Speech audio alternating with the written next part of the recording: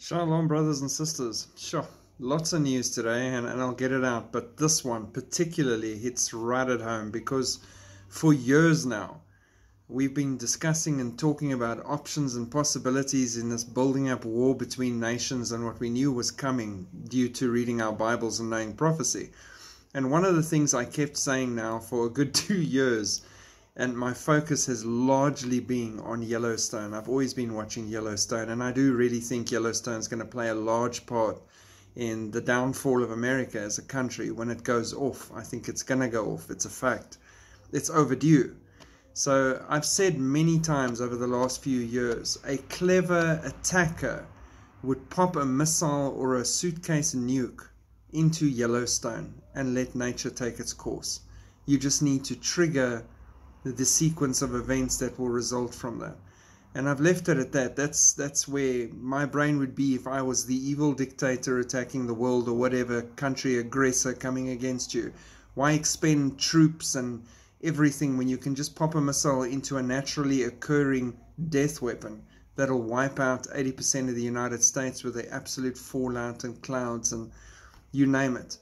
Um, and now, today, Russian state TV discusses nuclear strike on Yellowstone volcano.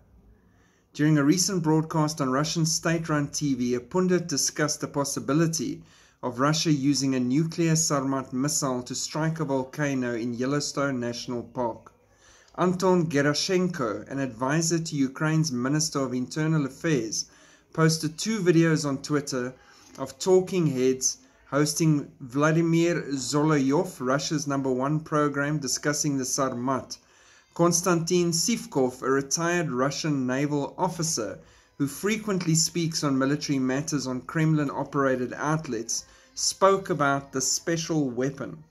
Sivkov said the powerful Sarmat missile can deliver a large number of nuclear warheads to the target and has the capability of striking across the South Pole. Sivkov then added, the US is particularly vulnerable to such a weapon, which poses a threat to Yellowstone volcano.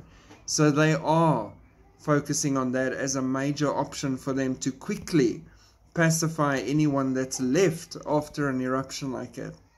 So interesting and scary, but quite shocking for me this morning to actually see that they're vocalizing what I've been thinking for years is a very real possibility to speed Yellowstone along if that needed to happen.